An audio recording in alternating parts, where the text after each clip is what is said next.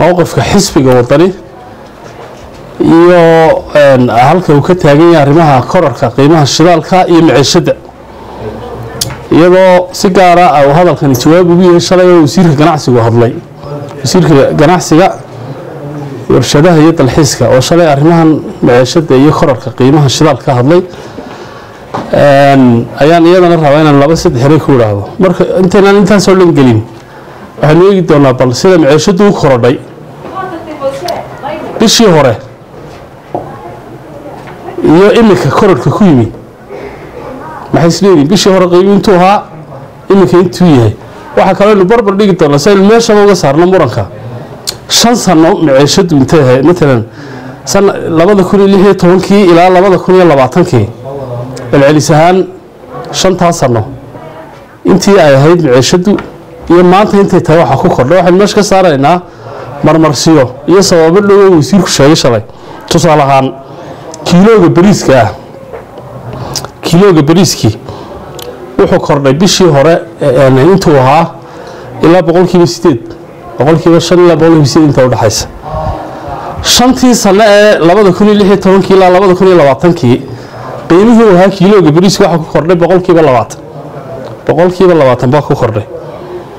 Litirka batroolkii intuu ahaa waxaa ku kordhay boqolkiiba shan iyo toban ama boqolkiiba lix iyo toban. Waxaa ugu daran baasha la yidhahda saliidda saliidda cuntada ee raashinka lagu karsado oo runtii aada iyaduna u qaaliyowday oo boqolkiiba labaatan in ka badan intay ahayd bishii hore ay ku korodhay iminka. Shantii sano ee labada kun iyo lix iyo toban labada kun iyo labaatan intay ahaydna waxay korodhay boqolkiiba shan iyo toban. Daqiiqda ayaa iyaduna aada u korodhay waxaa kaloo kordhay qamandiga. Waa quutal daruurigun baynu ka hadlaynaa. Shan sano intii ahayd shantaa sano labada kun iyo iyo tobankii ilaa labada kun iyo labaatankii waxaa ku kordhay boqolkiiba afar iyo labaatan. Muxuuha kiilooga qamadiga ah. Xogtani waa xogta ay samayso hay'adda ka shaqaysa cuntada adduunku oo suuqyo badan oo somalilanna si joogtaa u kormeerta. Usbuucii wasiirku wuxuu soddon qof baa i jooga ummadda reer somalilandna way dareentay oo iyadaa og taa maanta muranka geli mayna maciishadu halkay marayso. Garowga ayaa isna intuu ahaa bilihii hore boqolkiiba soddon kordhay kiilooga garowga. Ka cilmi jaamaca la yidhaa ciddii garanaysaa garanaysa intuu shantaa sane hore ahaana waxaa kordhay boqolkiiba afar iyo toban. Waxaa kordhay oo kale galleyda faracda maaheta kale. Ayaa iyaduna kiiloogeedu boqolkiiba labiyo toban ama ilaa boqolkiiba shan iyo toban inta udhexaysa uu kordhay intii uu ahaa shantii sane horena waxaa ku kordhay boqolkiiba saddex toban. Sacaadatu wasiir ummadda reer somaliland intaad soo hor inaad ku tiraahdo dad baa ii jooga suuqa oo may kordhin. Waxa weeye waxay ku tahay ceeb fadeexad iyo ma garanaysaa hagrashay ku tahay. Xaaladda horta maciishadu waa sidaa shidaalkan u soo noqonaya. Shidaalku islaftiisu wuxuu ka mid yahay waxa maciishada kordhinaya.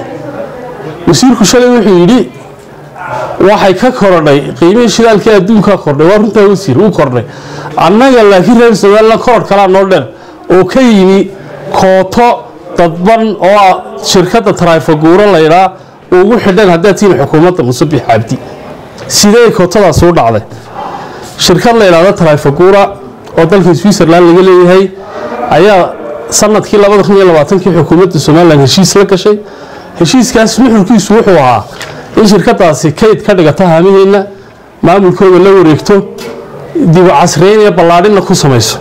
Iyadoo markaa ujeeddada laga leeyahay in etoobiya oo suuq weyna shidaalka aynu ka iibino oo waxaa shidaal laga iibinayo etoobiya oo halkaa soo maro ayaa ujeeddada heshiiska lagu sheegay. Heshiiska ilaa iminka ummadda lama horkeenin baarlamanku ma ansixin muddo laba sannaana waa laga joogaa. Waxaa kaloo marka intaasu dhacday tallaabo uu wasiirku qaaday inuu wax ka bedelo nooca darajada shidaalka ee waddanka la keeno. Oo shidaaladu darajooy darajay kala leeyihiin had jeerna waxaa lagu eegaa barametris kala duwan. Matalan salfarta maadada laydhaa maadada salfarta laydhaa ayaa wuxuu yidhi waa inaanay ka badan shan boqoloo p p m oo ah halbeega lagu cabiro maadadaasi shidaalka ay ku jiraysa waa inaanu shan boqol ka badan. Wixii ka badan marka uu yimaado ayaa laga celinayaa badda.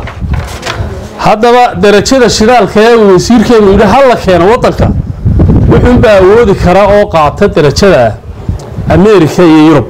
Innaga waddamada duruufteenna oo kale ahi ma qaadi karno. Shidaalka nooca layidhi hala keeno dalku? Waa shidaal ay america iyo yurub uuna qaadi karaan oo innaga taagteenna iyo duruufteenna midna aan waafaqsanayn. Wuxuu yidhi shidaalka mercuryda muxuu ahaysa salfartiisu hooseyso salfar oo ilaa shan boqol oo p p m ah. Wixii ka sarreeya awalna ilaa kun iyo laba boqol ilaa sideed boqol toddoba boqol bay ahaan jirtay maadadaasi. Maxay taasu keenaysaa? Waxay keenaysaa kow shidaalka dalka la keenaya inu qaaliyoba laba in shirkadihii wadanka laga lahaa oo ilaa sideed ahaa oo shidaalka soo dejin jira ay ku adkaatay inay dalka shidaal keenaan. Dabeedna shirkadda trifagura oo shirkadda aan weli heshiiskeeda baarlamanka la keenin ah ay si dadban u noqoto shirkadda keliya ee wadanka shidaal keenta hadday cidi ku keliyeysato keenista shidaalkana iyadaa yeedhinaysa qiimaha marka wasiirku sidoo kale inuu isagu tayada shidaalka nooca la keenayo go-iyo xaquma laha. Hay'ad baynu leenahay lahada hay'adda tayada. Hay'addaas wax kaalin oo ay ka ciyaartay ma jirto? Heshiiskaana weli lama horkeenin golaha baarlamanka. Shirkadaasina waxaanu ognahay in cido ka agdhow madaxtooyada ay lu ku leeyihiin muddo laba sannaha shirkadda heshiiskeeda wakiilada lama horkeenin wixii heshiiska la sheegay ee layidhi waxbay qabanaysaa waxay ballaadhinaysaa haamahana iyadana may samayn. Waxaa kaloo loo suurtogeliyay shirkadda kaydkii haamihii aynu haysanay in iyada looga qoondeeyo xaddi badan oo ay ku kaydsato shidaal dabadeedna shirkadihii kale ee wadaniyiinta ahaa ay waayaan. Kow noocii shidaalkee keena layidhi mid aana keeni karayn baa la sheegay. Haamihiina waxaa badankoodii loo xidhay shirkadda. Oo meel ay ku shubtaanba xataa hadday keenaan. Ma haystaan waxa weeye arrintaa waxaa loo wadaa si dadban in loogu xidho shirkadda. Waanay dhacday qayb weyn baanay ka tahay mas'uuliyadda qiimo kororka. Wasiirku indhuhu ka qarsado ma soo hadal qaadin. Daraad wuxuu soo saaray kaalmaha masaakiinta ee iyagu ma soo dejiyaan shidaal waxay ka soo iibsadaan shirkaddan. Wixii ay kaga iibsuunbay dee wax yar saartaa. Marka kaalmihiibuu waraaq u soo qoru shidaalka intaa ku iibiya ma rabo inuu la hadlo shirkadda keenaysa ma rabo dadkii soo dejinayay ee faraha badnaa ee soo dejiyayaasha ahaa in la furo. Oo dabeedna dadka soo dejinaya aanay cid gaara xuurto ugu xidhnaan ay dhowrkii shirkadood sideeddii keenaan wasiirku marka qoladaa la hadli maayo kuwa yarada masaakiinta kaalmaha buu hadla qiimuu gooyey. Waa kuwii tviyada ka hadlayeen oo arkayseen shalay. Miceshada qiimo kamuu soo saarin wasiirku. Oo mu odhan qiimaha ku iibiya sababta uu kaalmaha u eryanaya waxa weeye shirkaddan uu meesha ku jirta xaaraanta. Markaa mas'uuliyadda qiimo kororka shidaalka qeyb weyn bay ka tahay shirkadaas dadka ku lug talana waa dad madaxtooyada ka agdhow waa dad wasiirka ka agdhow xukuumadda ayaa waxay abuuraysaa jawi ganacsi oo dad gaari ku macaasha. Aqlabiyaddii iyo ma garanaysaa ummaddii reer somalilan looma danaynayo arrintaasaan halkan u soo istaagay inaan cadday inta wasiirku ka tegey sababta markaa qiimo kororka shidaalka adduunka ku yimi laguma qarin karo laguma qarin karo qiimo kororka ay kootada tarayfaguura keentay. Waan ku celinaya qolada kulmiya in badan total bay nagala hadli jireen.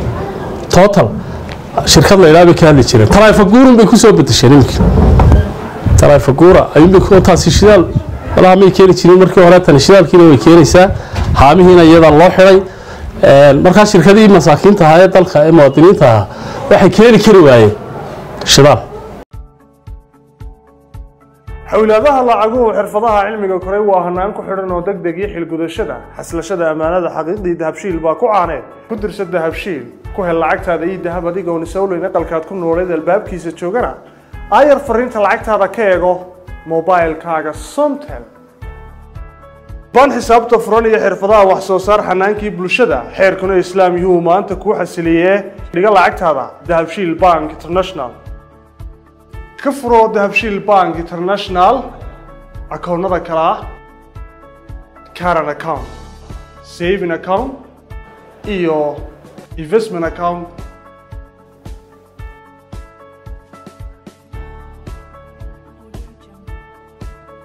ku xidho akoonkaaga dahabshiil bank international adeega casriga ee edahab.